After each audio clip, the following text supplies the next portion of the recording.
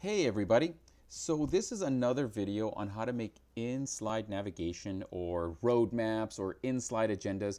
In other words, having something on every single slide that shows your progression throughout your presentation. If you watch my previous videos, these are going to seem familiar, but I want to show you some examples. So here is Intro Solution Manufacturer, and as we move through the presentation, so does that in-slide agenda. Here it's just a nice little square, it's very clean. And as we move through the presentation, so does that. So no matter what we're talking about, you know that we're talk we are in the implementation section. Here we are, talk, talk, talk, talk, talk. Look about da da da. No matter what we say, you know that we are in the long-term section. Oh, now we've moved on to the risk section. Let me show you a couple of other examples. Here it is on the left. See, there it is on the left. And here it is on the bottom. In this video, I'm going to show you how to do this, but this time, instead of having actual sections to the presentation, I thought we would have numbers, one, two, three, four, five, six, just to give it a different kind of look and a different kind of feel. First of all, I want to give shout out, I want to give a shout out to this guy, Alex Litvin. I got this picture from unsplash.com and Alex, congratulations for making a projector look super badass. I mean, how dramatic is this photo? Okay, that aside, let's figure out how to do this. The first thing I'm going to do, and by the way, you see all these shapes here? This is just so you can see that we're moving through sections and moving through slides. So here's the first thing that I'm going to do. I'm going to go to View, Master, Slide Master. I'm going to select the big one up top here. See this big slide right here? This is the one I have to mess with because if I do something on this slide, this is the title slide. See, master title slide, master whatever this slide is, master whatever this slide is. If I only do something here, it'll only affect the slides with this layout in my presentation. So let me show you what I mean. I'm going to put a cute little, just for funsies, a pretty little circle.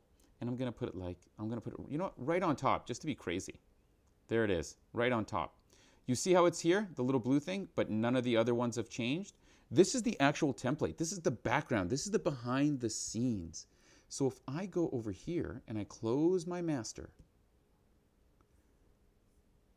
the only slide that had it was the title one. See if I remove the picture, there it is. See this one here? This is like the basic template with a title and like information section. Let's mess with that for a second.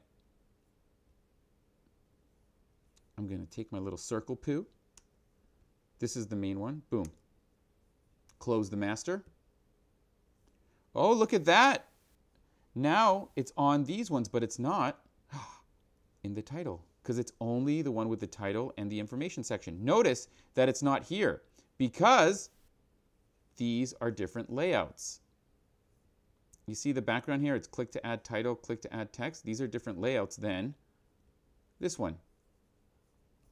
Therefore, according to PowerPoint science, if we want to change all these slides, and that's what we want, we got to affect the big one because size matters in PowerPoint. so here's another style that has a more of a, a creative kind of look to it. Boom. I'm going to make a circle.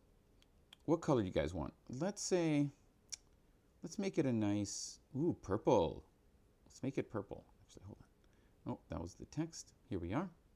Color, purple. Outline, no thank you. I'm going to push Command C or Control C. I'm using a Mac. And I'm going to make, I'm just going to push paste, paste, paste, paste, paste, paste, paste, paste, paste. Just to make a bunch of them. Boom. There they are.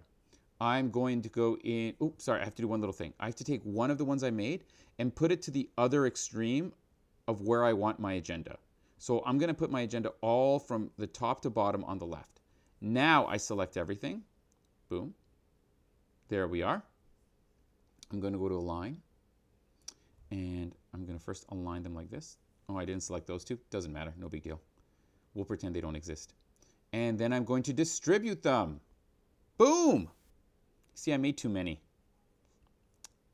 Nothing exceeds like excess, my friends. Boom, deleted it. Let's do that again. I'm going to select all of these. And this will happen, right? Like sometimes you'll you'll say, you know what, we don't even need this section in the PowerPoint, gang. What are we doing? And so you'll delete something. You got to go back into the slide master and mess with it. I'm going to align them again, and now I'm going to distribute them. Boom. Ta-da! And if I close my master, there they are on every single slide. And notice sometimes this kind of stuff happens. This is why if you are going to do this process, I highly recommend you do it before you start adding information to your presentation. Make this one of the first things you do so that way you design around it. Back to view, back to master, back to slide master. I'm going to do one more little thing here just because I can. So why not? And you can do this too. I'm going to select the line and I'm actually going to run the line. I'm going to push shift so it stays super straight behind it all. Why? Why not?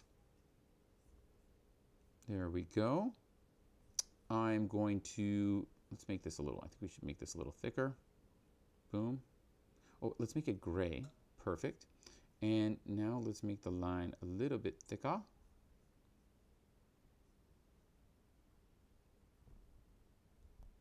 There we go. And now I'm actually going to put it behind the circles. This is all stuff that has nothing to do with the agenda. This is just the style part. Send to. Oh, whoops. See, because I was messing with this slide, I was not on the big one. This happens all the time. I forget to go to the big one. Back on the big one. Boom, paste. Awesome. Now let's send that one to the back.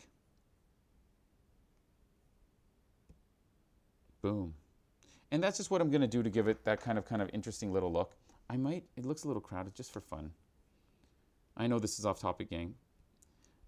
But style matters. Style matters. I'm going to align and I'm going to distribute them again. And again, you're going to do this throughout your presentation. There we go. And let's say I say this is number one. And I'm going to make my font white. And bold. Command C. And I'm going to call it 2. I'm going to call it 3, 3 4, and of course, Y. Because that's the way I roll. There we are. That's pretty much all we have to do in the Slide Master. The last thing I'm going to do, and this is bonus, okay, gang? This is just for funsies. This was not part of the other video. But sometimes people will call this in-slide navigation because what they will do is hyperlink. So I'm going to go to my number one and I'm going to say Command K and this document and I'm going to say that everything that has this little circle, I'm going to hyperlink it so it always goes back to slide number one. Okay? I can do that with the other ones, but I'm not going to just for the sake of time. You can do that on your own. Go back to the slide master option, close the slide master. Boom. So you see here, you're, oh, how come it's not hyperlink? That hyperlink only works when you are running the presentation. So I'm just going to put the number one here. So we know that this is the number one. Let's see what happens. I'm going to run my presentation. Here I am on, on slide number one. If I go up here and I push this, oh, it takes me to slide number one. Sorry, slide, I should have put number two. You know what I'm saying. Here, let me fix it, just so you know I'm not a total buffoon slide master, go back to this one, pick the big one, Command K, and this time we will go to that guy. Okay? I promise this will work. Otherwise, all of YouTube will laugh at me. Okay, here we go. Let's try it out. Boom. Run the presentation. Do do do do do. Running through my presentation. I go back to this guy, and it takes me to slide number one. Slide number one. Okay. Now, we have our little navigation. What we have to do now is highlight it. I made these circles, so this will be section one. The hearts will be section two, the squares will be section three. Here's what I got to do. I can make another circle right now if I wanted to, but the lazy way is to go back into the slide master, come up here, pick this guy, copy Command C, because this will save the hyperlink as well. And that'll make that'll be uh, important. You'll see later. Here we are. I'm going to say Command V, and it pasted it right in the exact location. See? I can't mess with this one because this isn't the background, it's in the master, but I can mess with this one. And the way I've decided to mess with it is by making it a different color. So we'll just make it, you know, let's go cool. Let's go nice and cool, like the background line. Ooh. Then, doo -doo -doo. Line this bad boy up. Yeah, close enough. I can also make it a touch bigger if I want. there we go. Perfect. Okay, so there we are. Command C, Control C. For all the ones in section one, it's going to paste in the exact location that I put it. That's all of section one. When I move to section two, I'll paste again, but this time I got to move it down. And just for fun, if I go Command K, you will see, see the hyperlink? That was saved. So I'm going to change the hyperlink now, and I'm going to say whatever this is, it's going to link to slide number six. Boom. Okay. Let's change that number to two. Now let's copy it. Command C. Paste. Paste. Paste. And paste. Then we go to the square section. This is part number three. I paste again. I move it down over to number three. I'll be honest, sometimes the lineup for some reason isn't always perfect, so I just make the circles a touch bigger. You can do however you want. I'm going to change that hyperlink, so now whenever I push number 3, it should take us to slide number 11. Boom. And of course, I'm going to change the number to 3. Now I copy it, go to the next slide, V, go to the next slide, V, go to the next slide, V, Go to the next slide, V. And just for funsies, we're going to make this one number 4.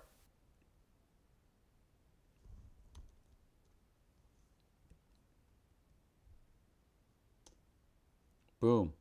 But don't forget to change the hyperlink to number 16. Okay.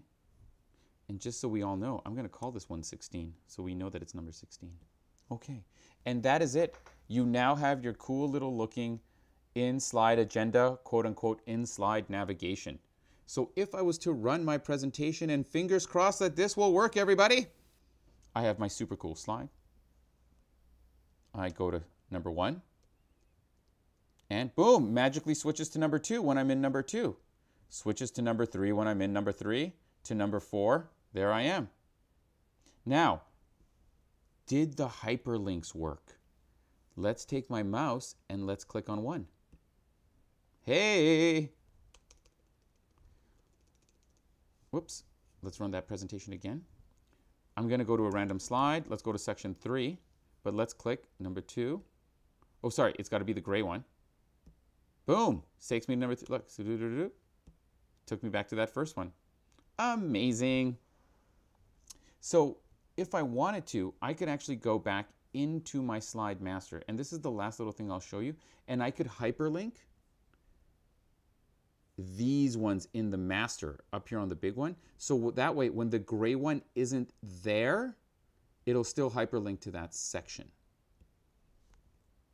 Command K, and I think that started in slide number six. So number six. So that every time we see the purple two, it should take us to slide number six. So I'm going to go all the way down to the bottom here, okay? Slide number six was the first heart. I'm going to go all the way to the bottom. This 2 should now be hyperlinked without the gray thing. I run it. Here I am on slide 16. Boom, and there I am. It took me back. So I hope that was useful, everybody. If you have questions, if there's a little part that I wasn't as clear as I could be, please let me know. Happy to like make another video or happy to respond. But that is essentially a way to make in-slide navigation. Thank you all so much for watching. Hey everybody, thank you so much for watching the video. My name is Yvonne.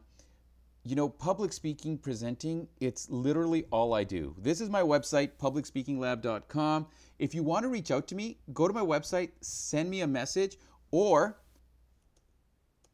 this is my Instagram and this is my LinkedIn. Reach out to me if you have questions about in-slide agendas or just public speaking or presenting in general. I have an open door policy and I'd love to hear from you. So write me, watch the video many, many times, many happy hours of viewing.